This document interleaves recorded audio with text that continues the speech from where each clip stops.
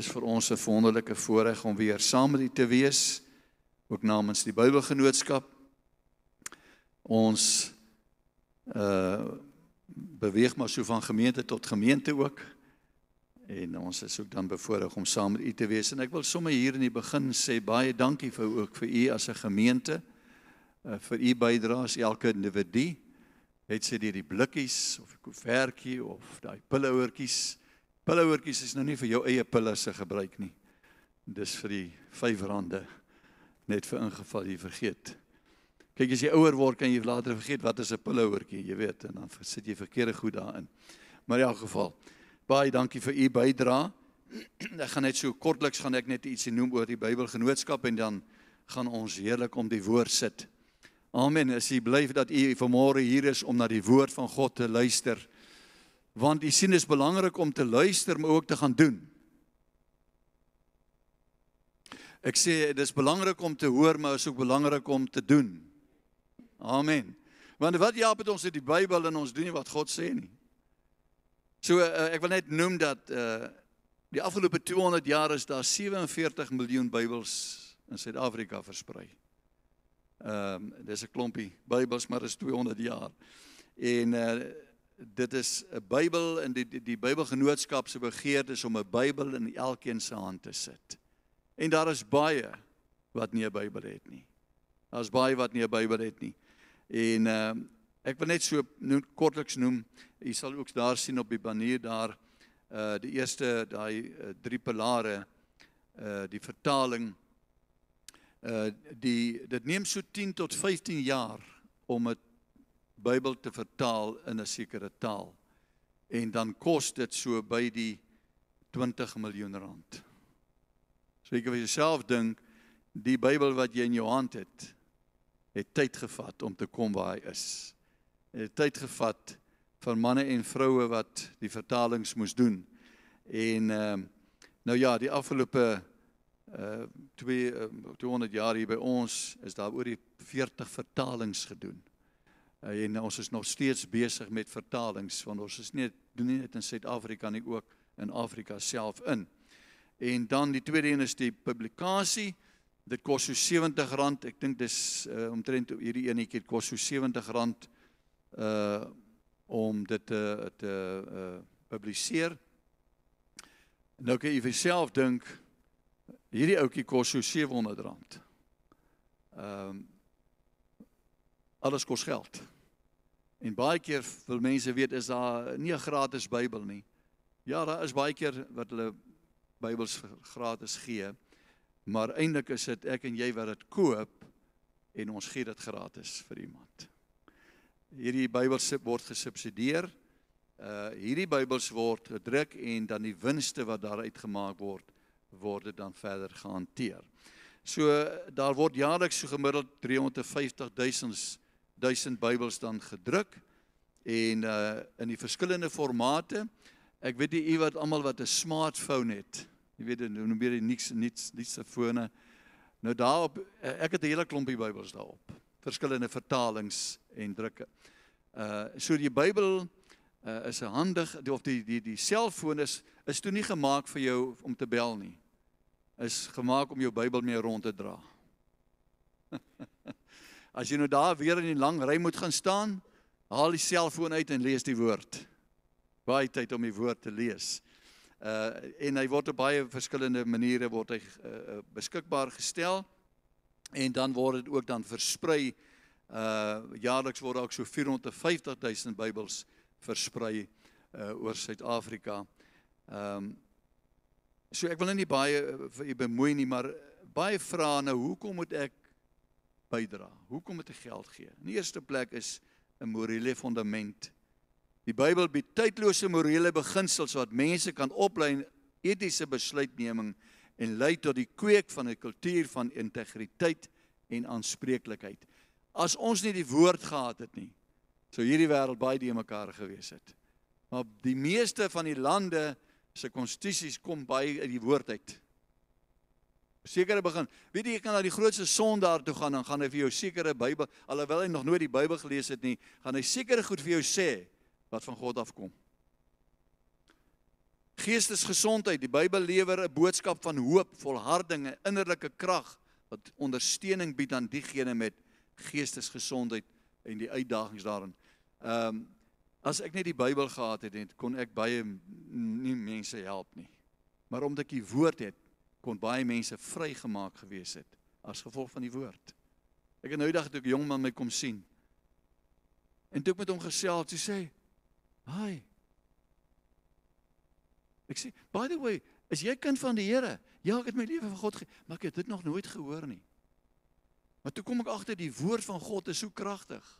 Dit kan mense vrymaak alhoewel hy dit nog nooit gehoor het nie, maak dit hom los. En toe hy wegstap, toe sê pastoor, ek voel nou sommer baie goed. Ek voel lig, ek voel verlos.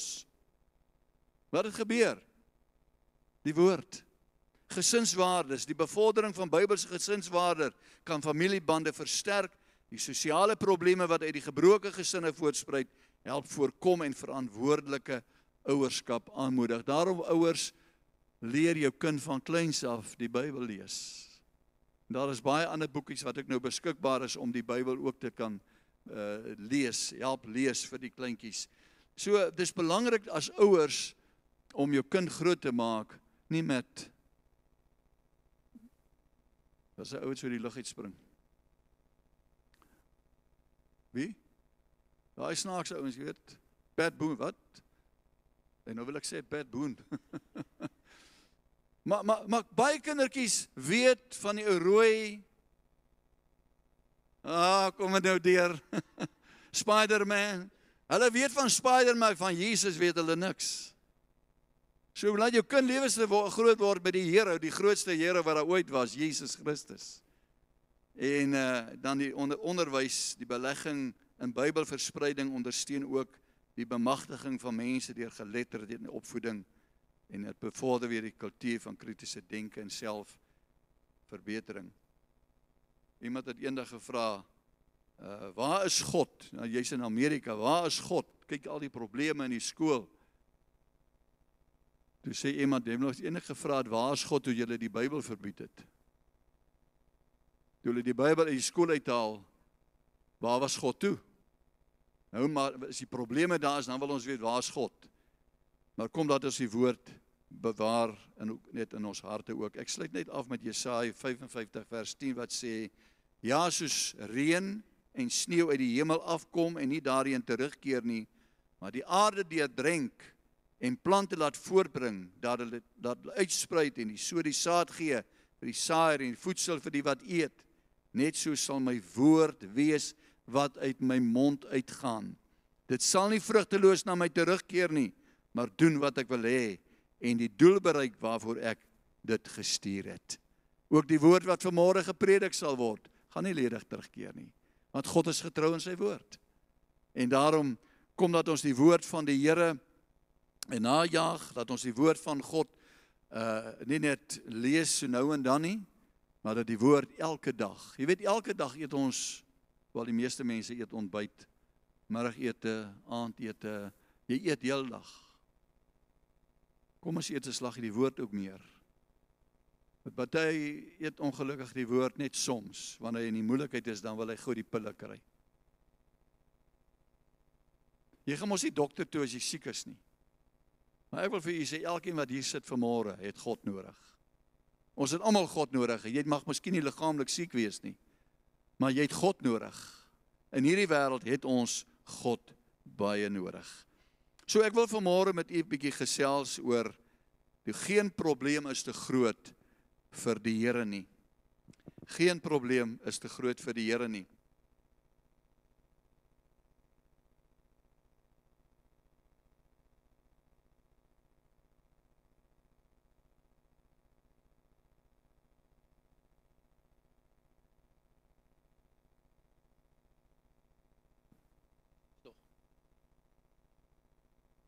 Pastor Corrie Greef het die 15de September, dis vandag.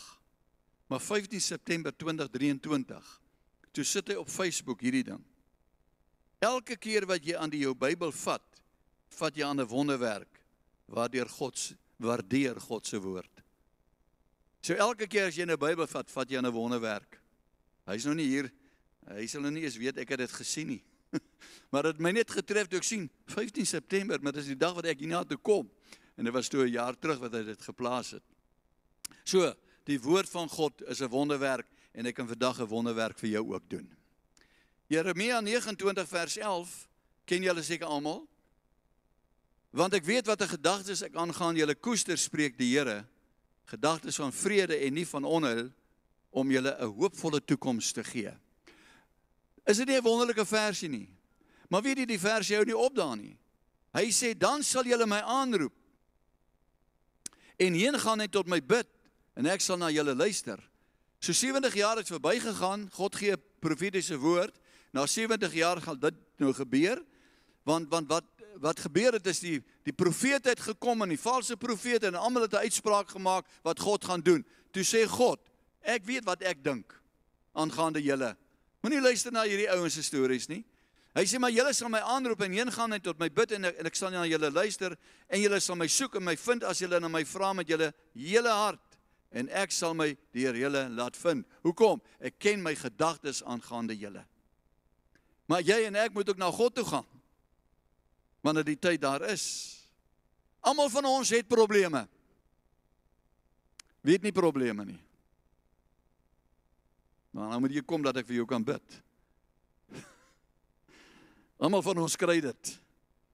Dit kan soms oorweldigend wees. Soms lyk dit groot vir ons of of ons dit nie gaan maak nie. Maar ek wil vanmôre eh, sê kom ons verander ons denke vandag. Geen probleem is te groot vir God nie. My eerste gedagte is die probleem is nie die probleem nie.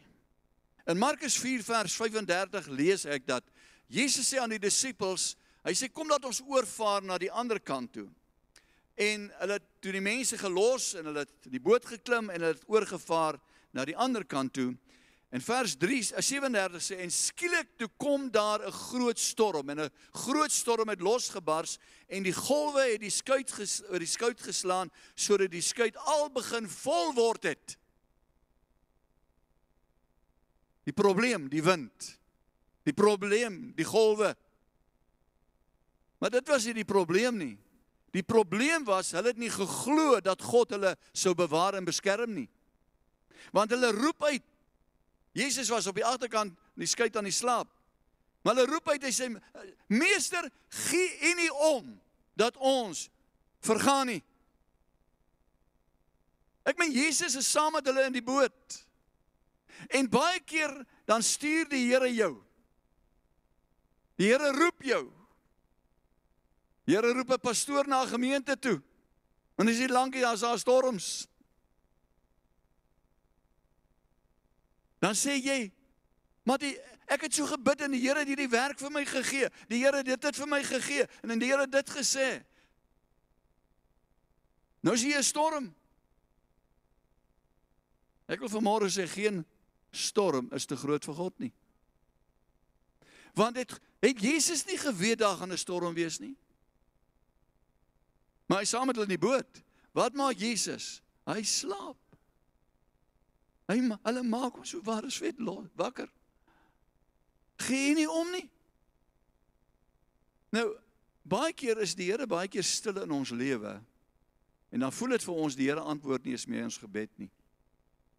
Maar ek wil vanmôre vir jou sê as as jy 'n woord van God het en besig is om oor te vaar, moet jy weet jy gaan aan die ander kant uitkom het sy deur storms of wat ook al God het gesê vaar oor. As die Here my toe die Here ons geroep het na verskillende gemeentes, ons het by drie gemeentes, het ek altyd gesê I will not be moved until God move me. En daar's baie gevalle wat ek wou gegaan het. Maar ek ek het nie gegaan nie. Hoekom? God het gesê vaar oor. Ek het geweet God kan nie lieg nie. Toe ons in die grootste storm in ons lewe beland, en die vyand kom om verwoesting te saai. Nou sit ek, want jou geveg is mos baie keer teen 'n mens. Het Piet Paul en Klaas. En ek kom by en ek gaan na 'n diens toe. En daar's 'n profete vrou en sy bedien die woord en sy stop en sy kyk sy sê sê dit wat nou met jou gebeur het, sy praat nou Engels Amerikaner. Sy sê dit wat met jou gebeur het, it was from the Lord. Ek sê, "Wow." Hoekom? Ek het vergeet, die Here het so 'n paar jaar voor dit vir my profetiese woord gegee waar hy die gemeente gaan skud 3 keer. Because I want my church pure. Ek het vergeet God is besig om die gemeente skoon te maak. He's making it pure, pure. En wanneer iets skoon gemaak word, is dit nie so altyd so lekker en maklik nie. Maar dan, en dis my woord vanmôre aan u, as jy God se woord het, staan jy op die woord. Staan op God se beloftes. God is nie 'n mens dat hy sou lieg nie. Hy is die Alfa die Omega, die begin en die einde. God gee om en hy's saam met jou in die boot. Iemand die woord van môre hoor, God is saam met jou in jou boot. In jou omstandighede. Dit maak nie saak of jou familie of jou jou jou vriende is en of jou werk of wat die natuur is, wat dit is nie. God is still in control. En dit is wat my vashou in die, in hierdie lewe in in in in Lukas 1 lees ons daar in die 6de maand uh, toe Elisabeth swanger was, kom die engel ook na Maria toe. En uh, hy begin met haar praat en sy's geweldig verbeurd en verbuister oor hierdie woorde, maar hy sê vir haar moenie bang wees nie Maria want God bewys genade aan jou want jy sal swanger word en 'n seun in die wêreld bring en jy moet hom die naam Jesus gee. En hy sal groot wees en die seun van die Allerhoogste genoem word. Die Here God sal hom die troon van sy voorvader voorvader Dawid gee en hy sal as koning oor die nageslag van Jakob heers tot in ewigheid. Luister mooi tot in ewigheid. Hierdie kerk is nie bestem om toe te maak nie. Want hierdie koninkryk waaraan ons behoort gaan is 'n ewige koninkryk. Hy sê Maria sê vir die engel, "Hoe is so iets moontlik want ek is het nog nooit omgang met 'n man gehad nie." En die engel antwoord op, Die Heilige Gees sal oor jou kom en die krag van die Allerhoogste sal die lewe in jou wek. Daarom sal die een wat gebore word heilig genoem word seun van God. Ek wil vanmôre vir jou sê wanneer God iets sê, moenie dit bevraagteken nie. Want hy is die God van die onmoontlike. En hy verwys so 'n bietjie en hy sê Elisabeth wat ook onvrugbaar was, eh, sy sal reeds 6 maande vrugbaar of uh, verwag in 6 maande. Niks is vir God onmoontlik nie, Maria soet en hier is vir my een van die belangrikste versies in die Bybel. Luister wat sê sy. Ek is tot beskikking van die Here. Laat met my gebeur wat u gesê het. Ek glo dit is op daai oomblik wat sy bevrug is. En Jesus word gebore. Maar as jy nie vir God vanmôre sê, Here, laat met my gebeur wat u woord sê nie, gaan daar niks met jou gebeur nie. Jy gaan nie die wonderwerk van God in jou lewe sien nie. Maar hierdie woorde, ek is tot beskikking van die Here. Laat met my gebeur wat u gesê het. Wat 'n verklaring. As ons net glo, hoe anders sou ons lewens gewees het. Dink 'n bietjie aan. As jy terugdink in jou lewe, As jy net op daai en daai tyd geglo het, wat sou nie anderste gewees het in jou lewe nie. Van geboorte af is ons geleer om ons beperkings te ken. Moenie vat in dit aan dit nie, moenie daaraan los dit. Moenie daar vat jy gaan brand. Van kleins af word ons geleer, moenie moet al daai goedjies. Maar soos ons groter geword het en volwasse geword het, ons begin verstaan en geleer en uh En ons het agtergekom daar sekere beperkings in ons lewe wat jy nie oorskry nie. Maar God het geen perke nie. Ek sê God het geen perke nie. Wanneer ons die koninkryk van die bonatuurlike betree, moet ons die grense en beperkings eenkant laat. Wanneer God inkom, dan gaan hy vir jou sekere goed sê wat jy voorheen jouself in beperk het. Ek is 'n skaam ou, ek is 'n stil ou, ek kan nie baie praat nie. God sê gaan praat gou. Wow. Here, ek kan nie. Ek was so gewees. Nou praat ek te veel. Hoekom? Ek het myself beskikbaar gestel. En God soek vanmôre manne en vroue in hierdie plek om hulle self beskikbaar te stel. Jeremia sê daar in, in Jeremia 32, kyk, ek is die Here, die God van alle vlees is daar enige ding vir my te wonderbaar? Ons het dit ook gesing, wonderbaar, wonderbaar. Is daar enigiets wat vir hom te wonderbaar is? 'n dawerende nee. Die enigste ding wat God beperk is ons ongeloof. Deuteronomium 7:16 uh sê jy moet al die volke wat deur die Here jou God is, jy uh, wat God jou in jou mag gegee het, uh, moet jy uitroei. Moenie een van hulle spaar nie, moenie hulle gode dien nie. Hulle is valstrikke vir jou. Ek wil vanmôre sê kind van die Here, daar's sekere goed wat jy uit jou lewe moet uithaal. Daar's sekere goed wat jy ontslaa moet raak, want dit is valstrikke vir jou. Dis dinge wat vir jou gaan gaan doodmaak. Uh hy sê jy kan dalk dink hierdie nasies is sterker as ek. Hoe sal ek hulle kan verdryf? Moenie vir hulle bang wees nie. Dink net wat die Here jou God met die Farao en die hele Egipte gedoen het. Dink so 'n bietjie terug in jou lewe waar God jou deurgedra het. Dink so 'n bietjie wat het God gedoen?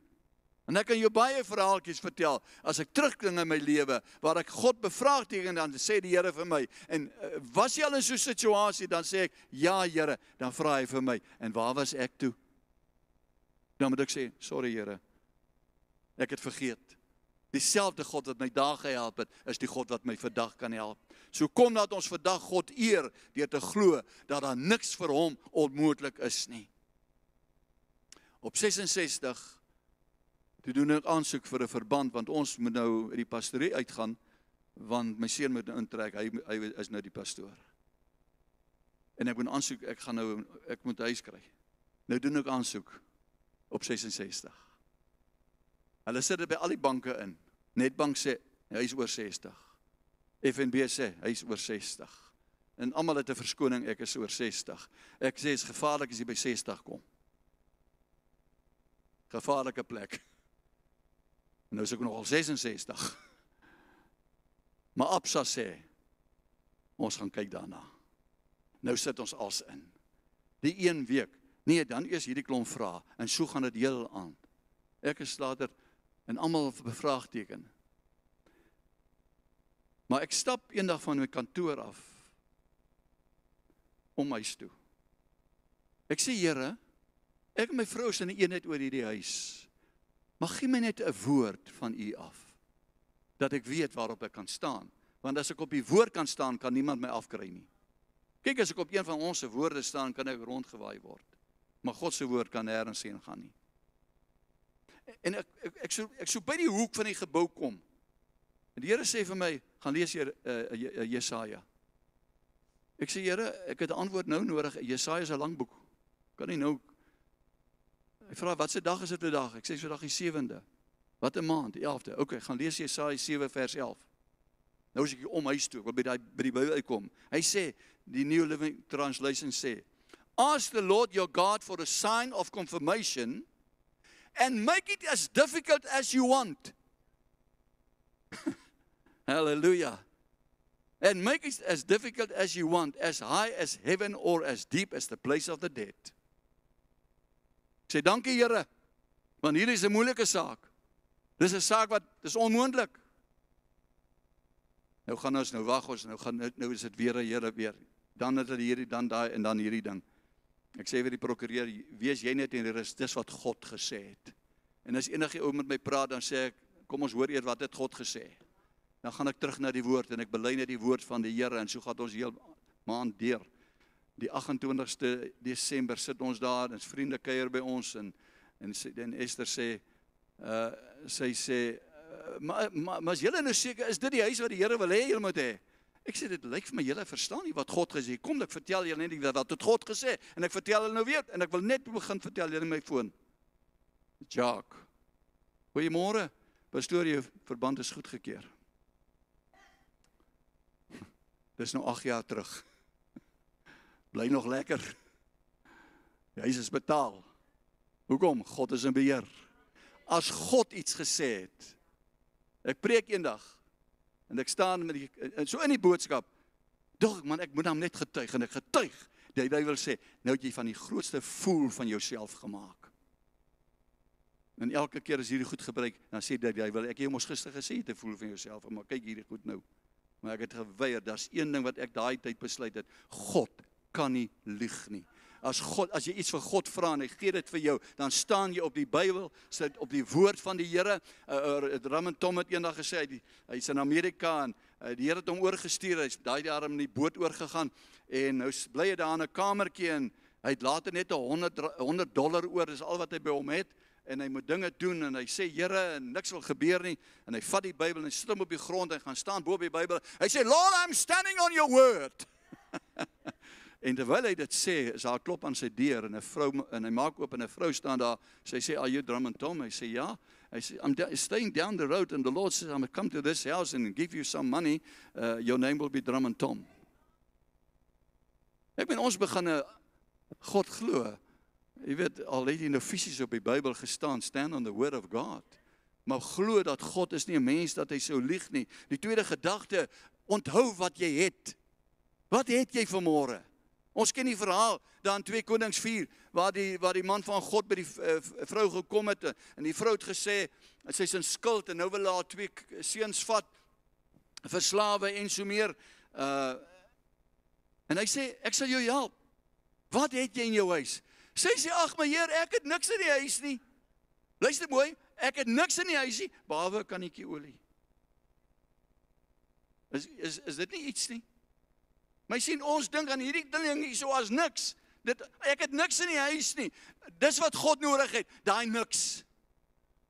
Hy het net daai bietjie nodig. Hy sê eh, net 'n erde kannetjie. Hy sê nou gaan leen vir jou 'n kanne, leekruike en kry soveel as wat jy kan in die hande kry. Bring hulle in. En as jy almal het, dan sluit jy jou deur en dan vat jy die kannetjie olie en dan gooi jy dit in die en nie ek wil sê nie tank. Daar aan die kry in die kruike gooi jy in. En die so dryk bring die seuns en sy gooi net en sy gooi net. En toe sê sy bring nog een, toe sê sy sê sy sê ma daar is nie meer kanne nie. Daar's nie meer. En toe hy dit sê, toe stop die olie. Moenie weer sê daar is nie. Jou olie gaan stop as jy 'n woord van God gehad het. Sê lieweste ma, ek kom nou. Ek gaan gou nog een soek. Hoor jy wat ek sê? Die oomblik, daar's krag in jou mond, in jou tong. En die Here doen 'n wonderwerk en hy en sy kom by die man van God en hy sê nou goed, nou gaan verkoop jy dit, betaal jou skuld en met die res leef jy en jou seuns. God wil hy sê vir jou 'n bonus gee man. Hy sê vir jou meer gee as wat mens kan dink. Wat by die mens onmoontlik is, is by God moontlik. Wat het jy in jou huis? Miskien is jy in 'n situasie wat vir jou onmoontlik lyk en jy weet nie meer wat om te doen nie. Jou onmoontlikheid is God se moontlikheid. Jesus verklaar dat alles vir God moontlik is. Selfs Jesus bid daar in Markus 14 en hy gaan bid in die tuin. En hy vat vir Petrus en Jakobus en Johannes saam met hom. En die Bybel sê hy sy siel het diep bedroef gewees tot die dood toe. En hy het so 'n bietjie verder gegaan op die grond geval en gebid. En hy sê Vader, as dit moontlik is, laat hierdie beker by my verbygaan.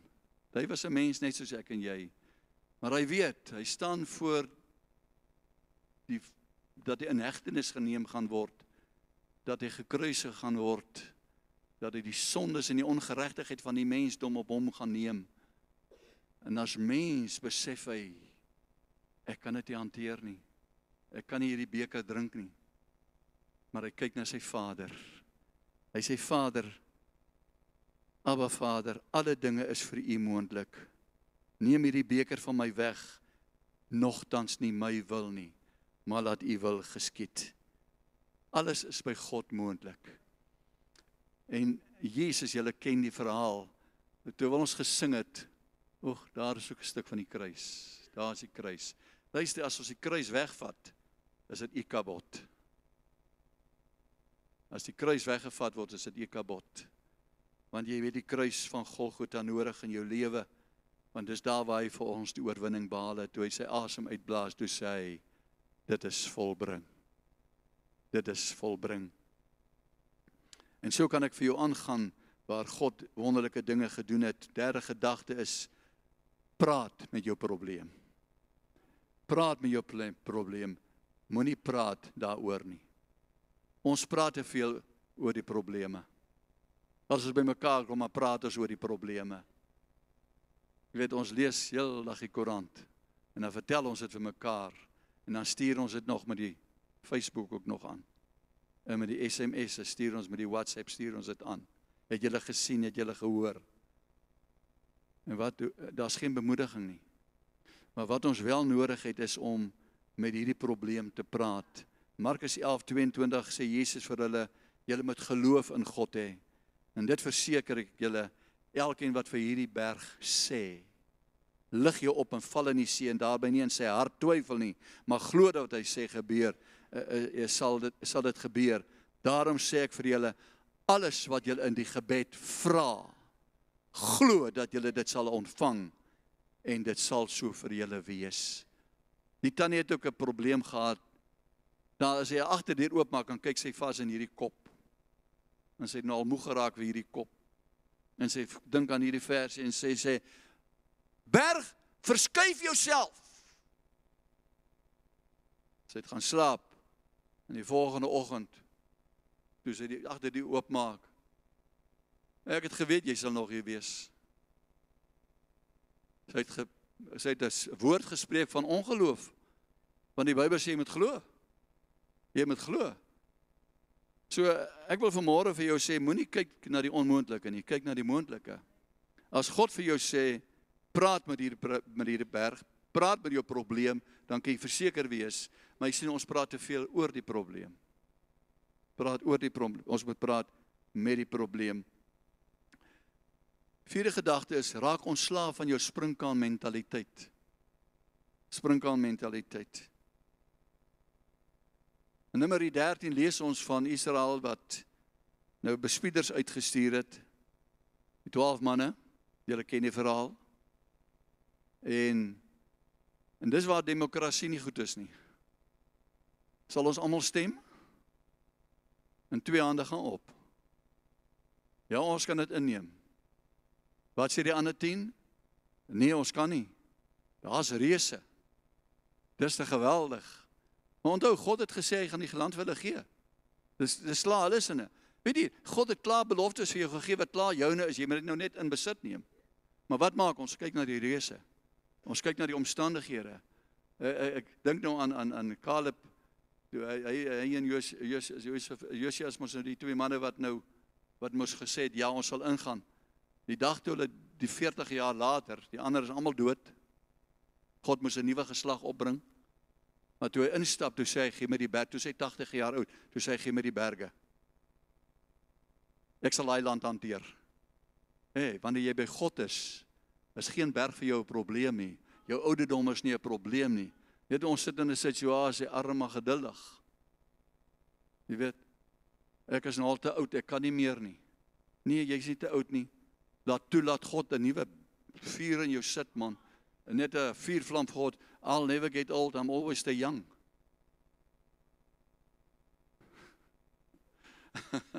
Prys die Here. Dit help my pa het my goeie naam gegee man. Dit help my net om my woord net te bevestig. Ek is ek bly altyd jonk. En uh, ek het nou gedink aan hierdie aftree besigheid. Toe sê ek nee, ek het net die gemeente afge ek het net die gemeente ehm um, uh oorgegee nou maar ek het nog nie afgetree nie. Dis nog nie op pensioen nie. Kan nie aftree nie en toe ek nou eendag besef maar almal praat van aftree nou gesels ek met die afgetredendes en die en die oues van daar en tog ek Here maar ek is nog nie so oud nie. Here ek is nog nie dit nie. Want hierdie ouens maak net my maak my net meer oud. Hulle maak net my meer meer meer moeg. Here, U het 'n salwing op my lewe geplaas, U het 'n roeping op my lewe geplaas. So wanneer moet ek ophou tot jy jou asem uitblaas? So jy's nooit te oud nie. Ek ek gesels met my broer nou vertel hulle blik nou daar in die aftree oord. Ag, die ander my oues. Ek het 'n oomie in die gemeente gehad, oom Andries. Hy was 'n bouer gewees. Groot hy hospitale gebou. Hy's 'n groot bouer gewees. Nou 'n klerk op by Pastor Pieter Snyman nog aanbid. Toe sê hy by ons in die gemeente en nou het hulle uh, die groot huise verkoop en hy's uh het nou daar by die aftree oord gekry. Ek sê hom Andries, bly jy lekker? Hy sê die ou plekkie is maar klein. Maar dit is heeltemal goed vir twee ou mense. Ek nou hy was al oor die 80, 85 al. Uh twee slaapkamers, twee badkamers, garage, weet heeltemal genoeg. As jy by agterdeur uitstap, stap in die kliniek in. Bedoel as 'n nou liggaamlike probleem is. Hy sê hy sê nie klom ou mense om my. Ek sê ek like dit. Moenie laat jou omstandighede vir jou dikteer nie. Moenie laat ander mense vir jou dikteer nie. As hy oud voel, laat hom oud voel. Ek verstaan dat die liggaam kan nie altyd doen wat hy wat jy graag wil doen nie. Ek meen, as jy nou ons ouderdom bereik dan eh, ek, ek wil graag die 100 meter gaan hardloop, maar ek is bietjie onfiks. Maar ek voel ek kan dit nog doen. Maar ek die liggaam sê vir my, "Uh uh." Ons is nou lang, ons het op vakansie gewees. Ek ook vakansie by the way. Ek was op vakansie gewees, kom terug, nou is ek by die gym gewees en nou sê ek my vrou, ek gaan nou eers gym toe om my fiets net so 10 minute te gaan trap, want hierdie liggaam nou eers weer in lyn kom.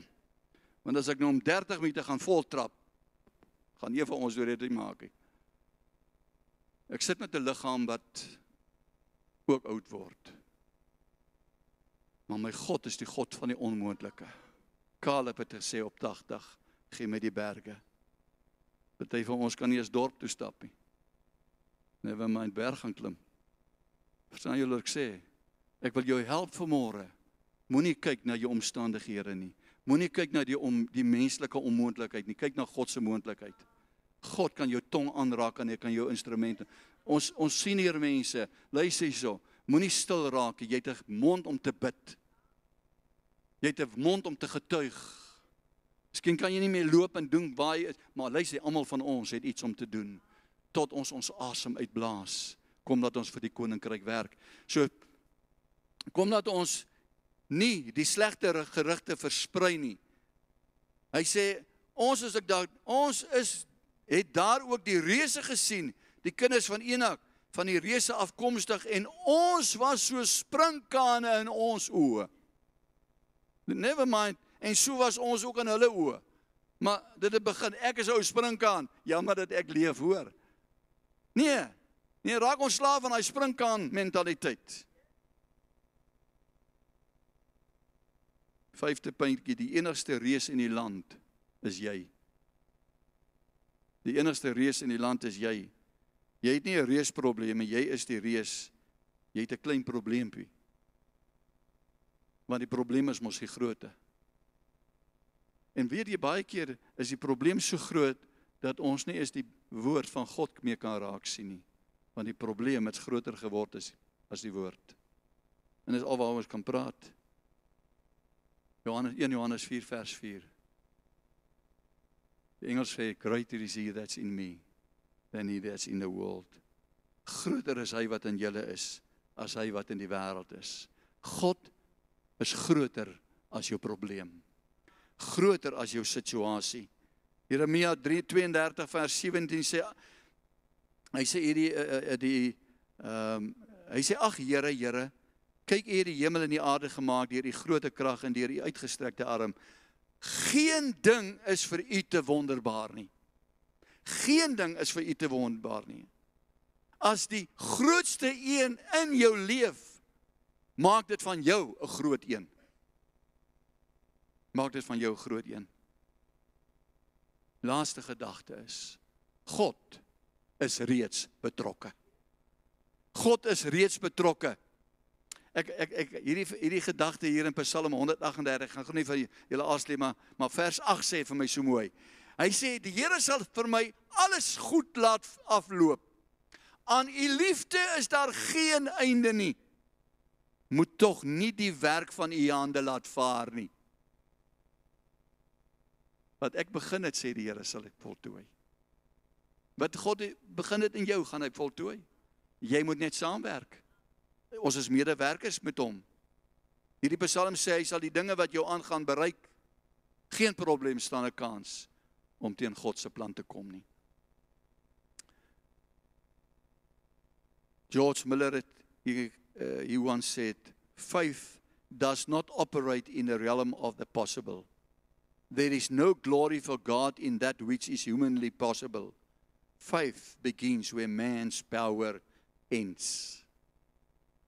So geloof, ek het nie geloof nodig om die Bybel op te tel nie. Maar ek het geloof nodig om iets anders te, te doen wat ek nie kan doen nie. En dis waar God inkom. Want God, jy sien as ek iets doen, as ek hierdie muur verf, God kry nie daarin eer nie. Ek het dit gedoen. Maar as ek iets moet bereik wat menslik onmoontlik is, dan kry hy die eer. En dis waar die Bybel my so mooi sê, hy sê I will build my church. I will geen mens kan hierdie kerk bou nie. Net God kan dit doen. Maar ons is medewerkers met hom. So ons moet getuig, ons moet vertel, ons moet inbring en God bou dit. So kom dat ons nie vrees nie, kom dat ons nie benoud of beangs wees nie, maar kom dat ons staan op die woord van die Here. Vertrou God. God sal hom sal jou voortdurend lei. Moenie bekommerd wees oor enige iets nie. Ek sluit af met Sagaria 9 vers 12. Hy sê come back to the place of safety all you prisoners who still have hope. I promise this very day that I will repay two blessings for each of your troubles. Die Afrikaans praat van ek sal jou dubbel vergoed. Two blessings for every trouble. Hoeveel hoeveel probleme het jy? Baie. Suster, jy gaan baie blessings kry. Want hoe meer trouble jy het, hoe meer probleme het, hoe ek meen dit is wat die Bybel hier sê. Hy sê ek kondig vandag aan dat ek jou dubbel sal vergoed. Die engel sê, uh I, I will repay to you the blessing for each of your trouble. Double two blessings. Man ek is gedurig net gebless. Gebless, gebless, gebless, gebless. Amen. Wie ek eendag ek word aangeval jong na stories, jy weet. Mense kom ons lekker skinder, jy weet. Dis mos nou nie hier nie, is plek plek en elders. Maar mense kan lekker skinder en dan dra hulle nog leens ook aan, jy weet. Vertel die stories en so aan uh en en ek sê Here, ek stuur hierdie goed terug van waar dit kom. En die Here bestraf my. Die Here sê jy's nou net soos hulle. Ek sê, hoe nou nou? Die Here sê vir my, Ek het gesê seën en moenie vervloek nie. So as iemand weer stories aandra, Here seën hulle.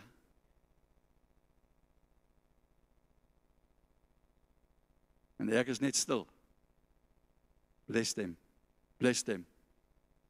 Ek ry eendag by die ou se winkel verby. Ek sê ek sê Here, die ou se winkel is nog oop. Hy's nog nie toe nie. Hoor julle waarvan ek nou praat?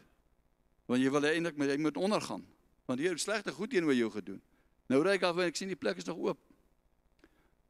Ek het gesê seën moenie vervloek nie. Sorry Here. Maar ek toe ontdek ek in die woord van God, die wraak kom jou nie toe nie. Die wraak behoort aan hom. As jy seën, hoe meer jy seën, hoe meer kan God in plek kom om te doen wat gedoen moet word. Want dan te God wil hy persoon ook red. Maar as hy nie gered wil word nie, moet hy maar ondergaan. Klink verskriklik. Maar God sê seën en moenie vervloek nie. Want dit behoort die wraak kom my toe. En dis die wonderlikste bevryding wat daar is geliefdes is om uh om te vergewe en dis mos die moeilike gedeelte. Dis die moeilike gedeelte, maar weet, ek is tot alles in staat deur Christus wat my die krag gee. So wanneer ek vergewe, dan vergewe ek en ek spreek vry. Dan kom Piet mos daarvan vooraf gestap. Jy seker nie 'n Piet nie, né? Dan kom hy mos na van voor af gestap en dan kyk dan sê ek in die window shoppings besig omdat ek is in my winkels dat ou Piet net eers verbygaan. Dit het nog nooit hier gebeur nie.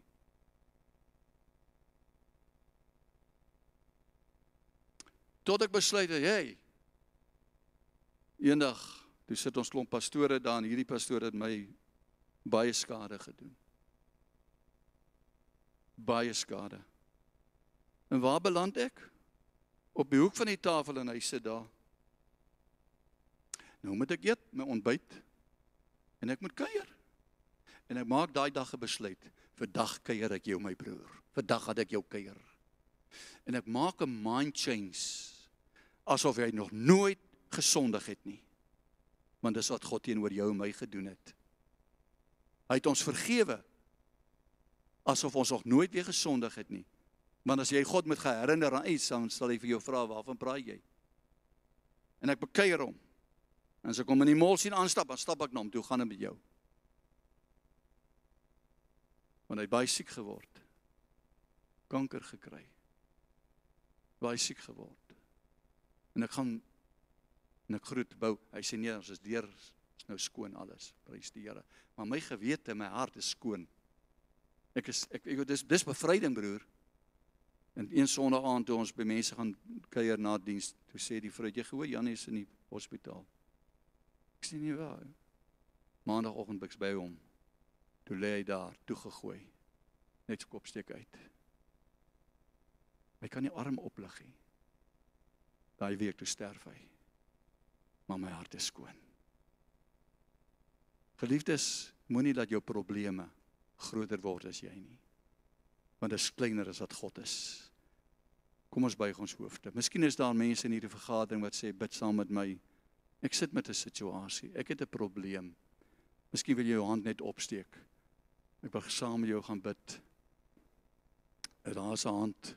Ag ek wonder, wil jy nie voor by my kom staan nie? Mag ek mag ek uitnodiging gee?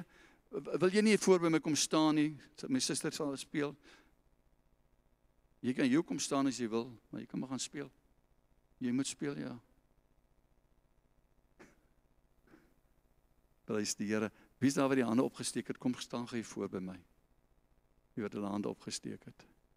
Thank you Jesus.